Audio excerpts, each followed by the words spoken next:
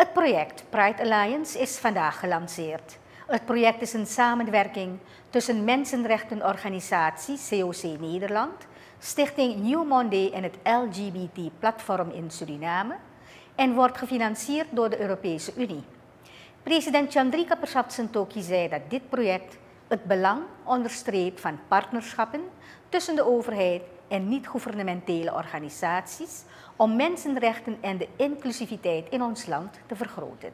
Suriname is regionaal en internationaal een voorbeeld van een inclusieve en diverse samenleving.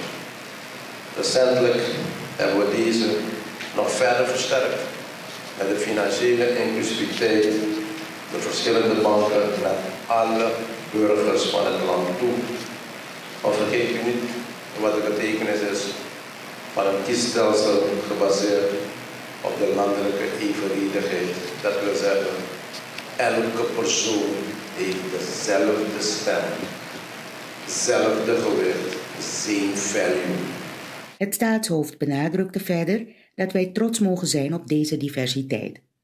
Onze geschiedenis is verweven met verschillende culturen en tradities die wij moeten koesteren.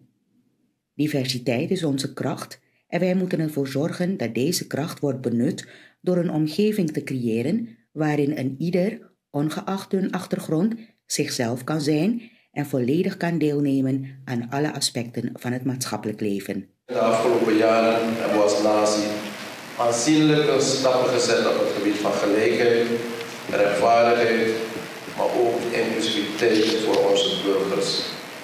Onze grondwet, onze moederwet, onze hoogste wet verbiedt discriminatie op basis van enige status en biedt de mogelijkheid tot vrije beleving voor iedereen. Minister Steven McKendrew van Arbeid, Werkgelegenheid en Jeugdzaken gaf in zijn toespraak aan dat het ministerie zal optreden als een partner in dit Pride Alliance project. Deze projecten worden in het Engels genoemd Bittersweet Moment. Sweet, omdat er een mooi project wordt uitgevoerd dat zal leiden tot capaciteitsversterking en samenwerking. En bitter, omdat het aangeeft dat we als samenleving nog niet zijn waar we moeten zijn als het gaat om het promoten van gelijkheid en tolerantie. De bewindsman voegde eraan toe dat er een aantal wetten is aangenomen door AWJ. Ik denk dan aan de wet geweld en seksuele intimidatie. Dat is bedoeld zeker ook om geweld onder de LGBT-gemeenschap tegen te gaan, maar ook andere. Ik denk ook aan de wet gelijke behandeling arbeid. Dat is bedoeld om op de arbeidsmarkt toch ervoor te zorgen dat er voor onder andere gelijk werk, gelijke beloning is en andere zaken.